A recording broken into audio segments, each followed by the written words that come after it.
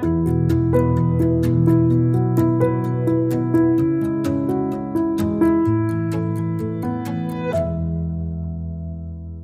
afternoon. Could you believe me if I tell you that in the future it will be possible to treat skin cancer by means of a simple plaster? Well, I want to convince you in three minutes by means of this slide. First of all, as many of you maybe already know, um, in the last year, most of the scientific research focused on the study of nanocarriers. Nanocarriers are particles of nanometric size able to incorporate a drug and release it in a selective way. Let me explain better. In the case of cancer treatment, um, these nanocarriers are able to incorporate a chemotherapeutic agents and release it only in correspondence of ill cells without affect the other one. For this reason, I am, uh, um, in this, anyway, only few researchers focus uh, our, their study onto how put these nanocarriers in contact with the human skin. In fact, these nanocarriers have to be in contact in order to be able to act.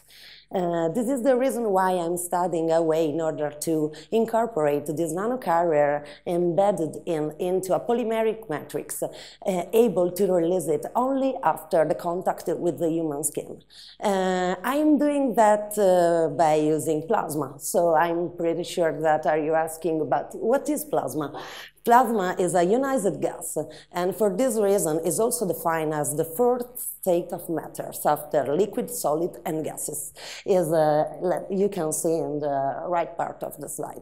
And um, I'm using plasma in this specific case in order to convert a liquid precursor containing nanocarrier into a polymeric matrix with embedded nanocarriers by means of electron, UV radiation, and reactive species.